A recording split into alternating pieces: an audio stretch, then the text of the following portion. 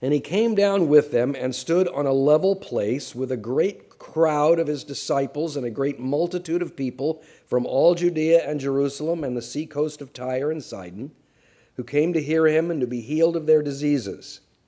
And those who were troubled with unclean spirits were cured. And all the crowd sought to touch him, for power came out from him and healed them all. And he lifted up his eyes on his disciples and said, Blessed are you who are poor for yours is the kingdom of God. Blessed are you who are hungry now, for you shall be satisfied. Blessed are you who weep now, for you shall laugh.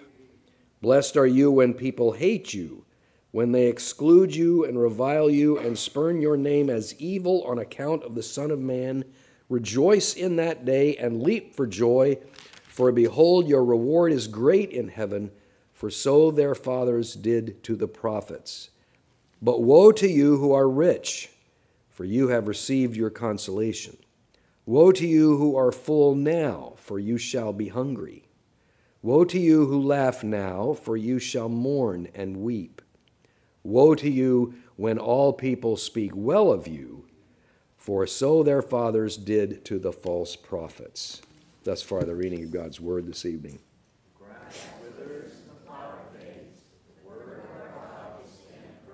Now, by the time, by, the, by this time in the ministry of Jesus, he has been introduced in the gospel and he has been speaking in synagogues on Sabbath days. He's been demonstrating the power and the authority that he possesses uh, by, uh, by being fully God and as well as fully man.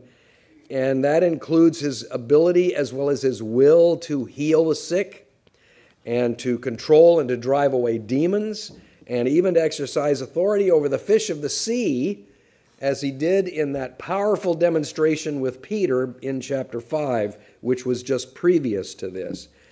Now comes a turning point in Jesus' ministry as Luke presents it. Uh, he's prepared himself the night before by praying fervently all night long. This is a big moment. And he rose up and he called to himself 12 of, of those followers who were with him and called them apostles. And now Jesus turns his attention rather specifically, although there are others who are listening, to teaching and training those apostles.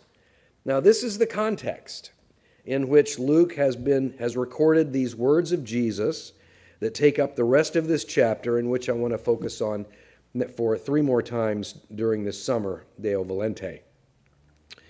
Um, Luke's Sermon on the Plain, and, and that nickname comes from the fact that Luke makes the very specific point that he uh, went out and stood on a level place as opposed to on a mount, as it says in Matthew chapter 5. Uh, so this is, is, is called his Sermon on the Plain. And, uh, but it doesn't get anywhere near the attention that Jesus' Sermon on the Mount gets in Matthew 5 and through 7. Uh, many commentary, many books and commentaries have been written about the Sermon on the Mount, uh, and for that, uh, for the study of the message that Matthew has. But you know, I don't think I've ever come across a single published commentary or book dedicated to the Sermon on the Plain. Uh, now, I can think of a few reasons for that. One might be because people just assume that Luke's text is a copy, an abbreviated copy at best, of the Sermon on the Mount that we find in Matthew.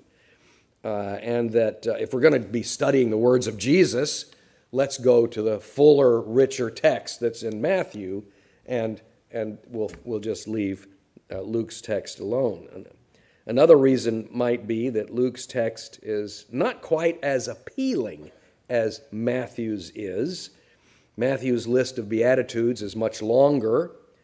Uh, the words sound more spiritual, more comforting, whereas Luke's list of Beatitudes is more brief, more earthy.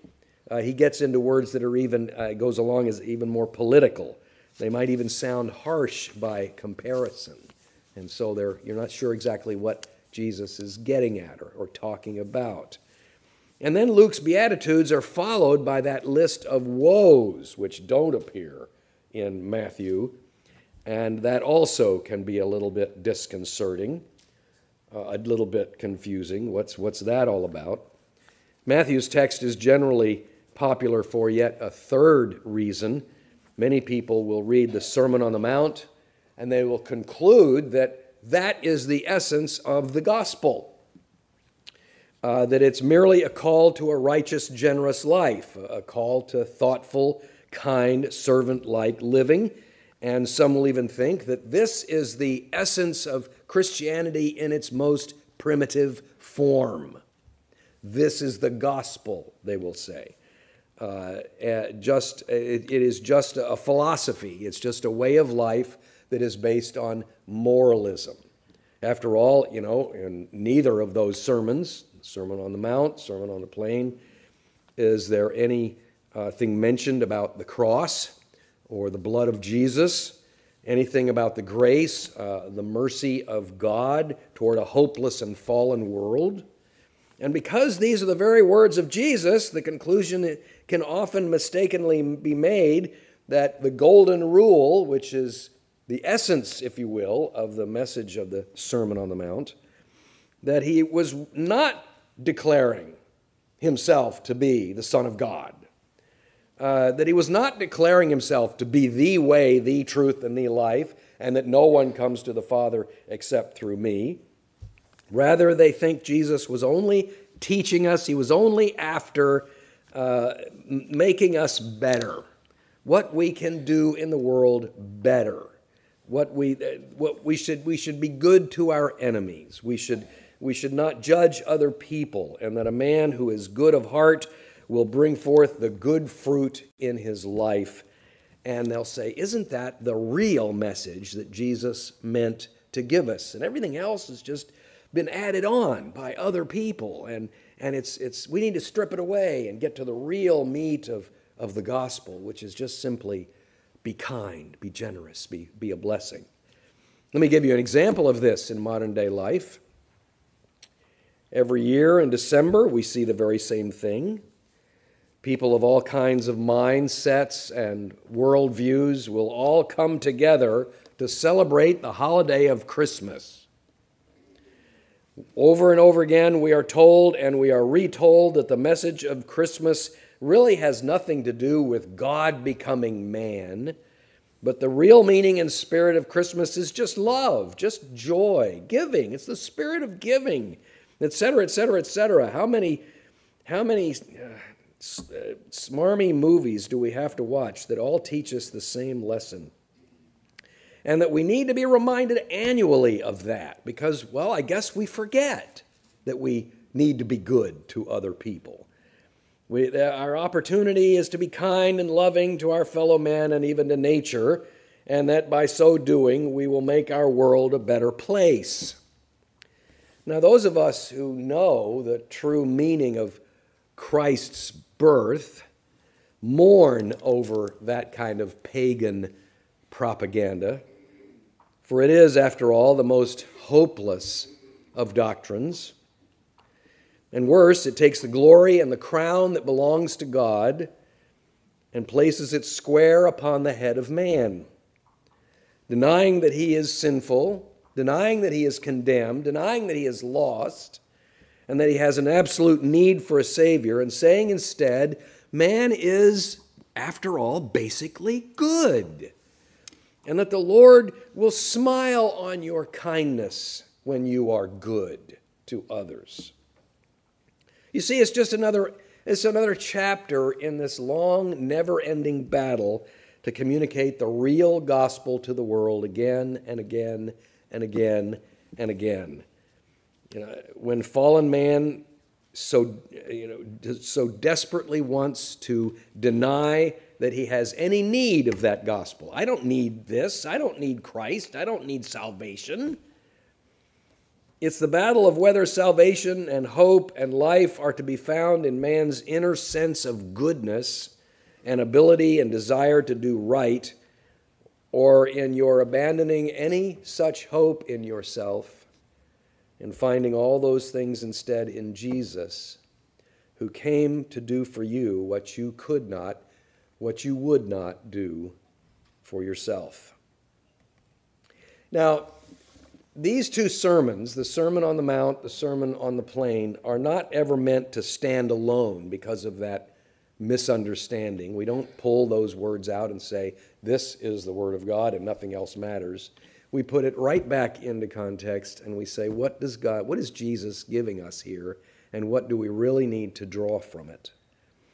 Now, there are three things, by way of introduction, there's three things that these sermons have in common. They're not the same sermon. But they are three things that they have in common that we'll start with. First of all, the messages of Matthew 5 through 7 and Luke 6 both emphasize the coming of the king. Jesus did not come just to preach the golden rule. Just teaching us to be kind to one another would not have gotten him crucified. He came bringing the kingdom of heaven to earth. In Matthew's gospel, that's made very clear by Jesus' pronouncement to repent, for the kingdom of heaven is at hand. The kingdom of heaven is at hand because the king is at hand. In Luke's gospel, that is portrayed in how Jesus fulfills the purposes of, for, of God for man to proclaim liberty to the captive and the oppressed, to announce the acceptable year of the Lord acceptable, that is, to His plan, His purpose for what we are doing here. Jesus did not simply obey God's law as if he were uh, competing with the Pharisees. He declared himself to be the Lord of the Sabbath. Jesus was the center of everything, and he made that very clear. Now, the second thing these sermons have in common is both sermons emphasize the radical nature of discipleship. When you read the instructions Jesus uh, gives in both messages, you realize there really is not much here that is warm and comforting, as much as these words are strong marching orders for his disciples. Both messages stress the plain and simple fact that if man was able to do good on his own, well, he's just not very good at it. Rather, doing these things, Jesus teaches, especially with any sense of doing them for a purpose that extends beyond our own sense of pride and our own sense of vanity and our own sense of glorifying ourselves, well, that goes against our very nature. That's not what we want to do. Jesus can teach till the cows come home. It won't make any difference in how I act. But Jesus is not appealing to our better sides, to our latent goodness, and saying what the world needs now is love, sweet love. He is saying the service of following and representing Christ will sometimes be very hard and very difficult and very sacrificing, and because we don't want to do it naturally, and yet we must do it. We must declare that the glory always goes to God. That's very different, I would suggest to you, than thinking that by doing some daily good deed, I may somehow be contributing to world peace and, gaining points with God. Well, the third thing these sermons have in common is that both sermons emphasize the reality of the heart of sinful man as he faces the true gospel. What was the message of the prophets of old? And why did Israel reject them, even put them to death? Why would we be persecuted by anyone today if all we're trying to do is be good, to do good, to, be, to the benefit of others? Well, the answer to that is the true gospel is not just doing something good for someone else, it involves confrontation it involves identification. I am different than you. The Lord has called me to himself. That's uncomfortable. That's radical. That causes a reaction, teaching us to look instead to him who is altogether righteous and outside of us instead of looking in for what we can offer. And that's a message that isn't welcome to the ears of sinful man. He doesn't want this. The gospel is something man does not want. And when you get that kind of reaction, you may be encouraged. I'm getting to the point. So there are many things that are similar about these messages that Jesus preached on these different occasions. But still, the emphases that we're going to be focusing on as we look at, at the Sermon on the Plain are the differences between the two. What is it that Luke uniquely brings out in Jesus' message and, and, and that will determine how he presents them to us? I'm sorry, our notes sheet is just a note full of lists one, two, three, one, two, three, one, two, three. But bear with me. The first difference, I think, here is that the context in Luke tells us that these instructions that Jesus is, is specifically giving, as I said, to his apostles, to his followers. There's even a sense of mission to the instructions that he gives in Luke. You know, there's four places where the list of apostles is found in where they are given to us by name. That's Matthew, Mark, Luke, and Acts. And by placing the calling and listing of the apostles here, as in, we find them in verse 12 through 16, just before we started reading, Luke is reminding us that this message of Jesus contains the training instructions that Jesus gave to them as to how he wants his people to act, what he wants his people to teach, and how he wants the gospel to be displayed as they themselves live and present that gospel to the world. This is the modus operandi for the gospel. It's not the gospel, it's how you regard, you demonstrate the change in yourself, how you act in a way that they will be caught off guard by. By placing that list there, Luke is reminding us that the message of Jesus contains those training instructions, and as many was many things that the scripture reminds us of, the words of the gospel call us to examine and convict ourselves first. If we're acting like everybody else in the world without what we say, then we're not different at all. We have to be different. It starts, it doesn't end, but it starts with the instructions that he gives us in these sermons. And also, as we strive to live before the world, not just as examples, but as servants we need the support and the encouragement of those that we count and we lean on, one another, brothers and sisters in the Lord. We need to lean on you, those of like faith, like practice, like commitment. We need them to be mutual team players, fellow servants.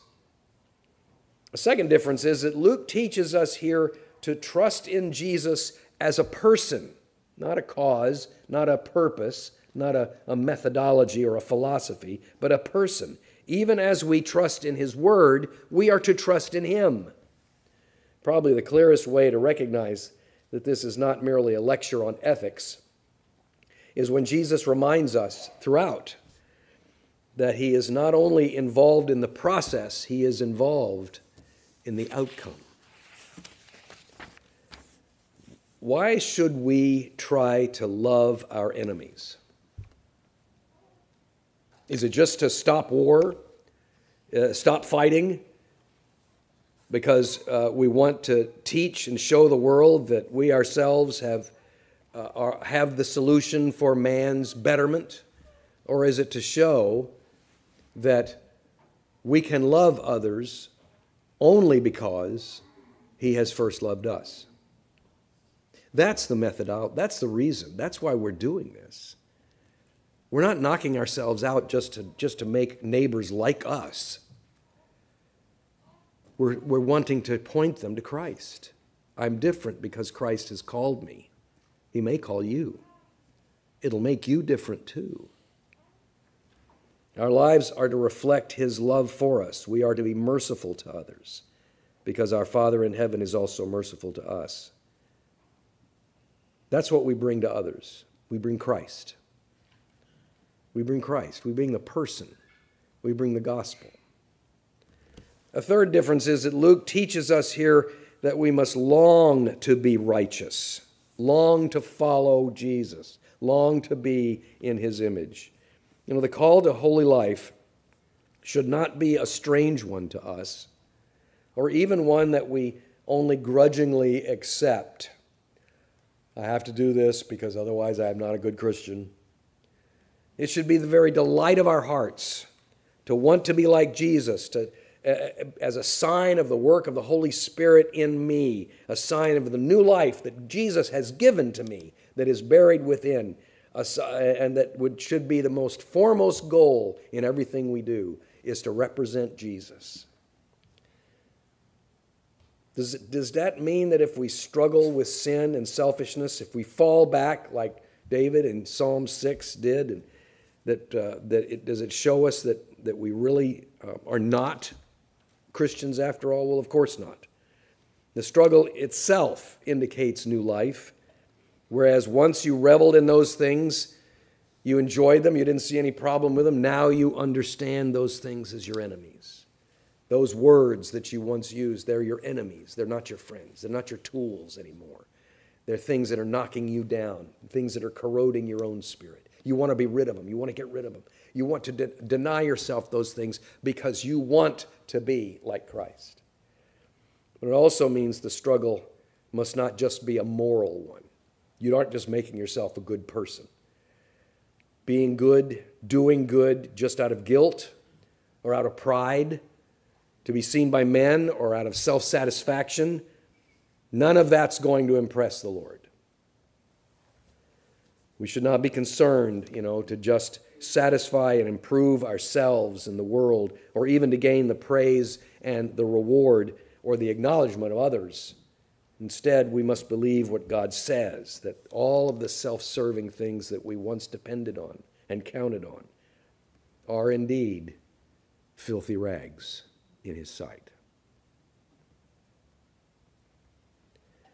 The struggle to be holy must be just that to know that we are called of Christ to be separate from the world, and yet to call the world to be separate with us, to be committed to deny themselves their own worldly praise and attention, to pick up the humility of the witness and the word of Jesus, as well as the cross and its shame, and to follow Jesus and bring him into my world.